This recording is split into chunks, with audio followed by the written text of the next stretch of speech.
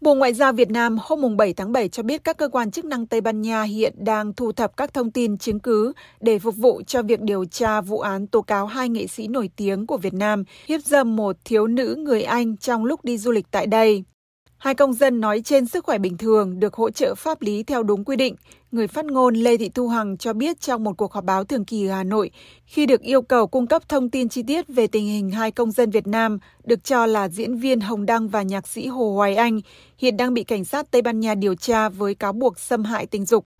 Trước đó, ngày 1 tháng 7, Bộ Ngoại giao Việt Nam xác nhận rằng Đại sứ quán Việt Nam tại Tây Ban Nha đã nhận được thông báo từ cảnh sát đảo Mallorca của nước này cho biết đã bắt giữ hai công dân Việt Nam với cáo buộc xâm hại tình dục đối với trẻ vị thanh niên 17 tuổi và xâm phạm quyền riêng tư.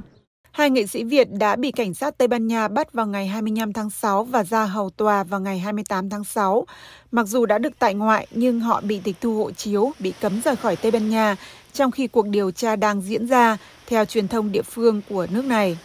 Trả lời tại buổi họp báo hôm 7 tháng 7, người phát ngôn Bộ Ngoại giao Việt Nam cho biết thêm rằng Đại sứ quán đã khẩn trương bước đầu triển khai các biện pháp bảo hộ công dân và những thông tin liên quan đến vụ án cũng như việc bảo hộ công dân sẽ được Bộ Ngoại giao cung cấp theo đúng chức năng nhiệm vụ và thẩm quyền phù hợp với quy định của pháp luật Việt Nam.